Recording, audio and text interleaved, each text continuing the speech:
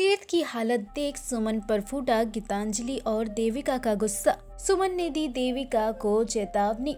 जी हाँ Colors TV के most popular show Supan Indori के एपिसोड में आप देखेंगे कि कैसे सराफा के लोग जहाँ ईट को पीटते नज़र आएँगे तो वही वहाँ पर आप पहुंचेंगी सुमन, जो सराफा के लोगों को बताएँगी कि आखिर उन्होंने कौन सा पाप किया है। आखिर उन्होंने उनके ही दामाद को इस तरह पीटा है, वो भी किसके कहने पर गुलशन के, जबकि तीर्थ की कोई गलती भी नहीं है। साथ ही वो ये भी बताएँगी कि हाँ सुमन उनकी बेटी है, लेकिन एक पति पत्नी के बीच आने की इजाज़त वो भी नहीं देती किसी को।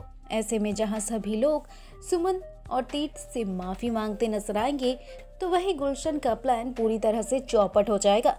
टेलीविज़न से जुड़ी इसी तरह की लेटेस्ट अपडेट एंड गॉसिप के लिए हमारे चैनल पर नज़र रखिए और हमारे चैनल को सब्सक्राइब करना और बेल आइकन को प्रेस करना बिल्कुल ना भूलें।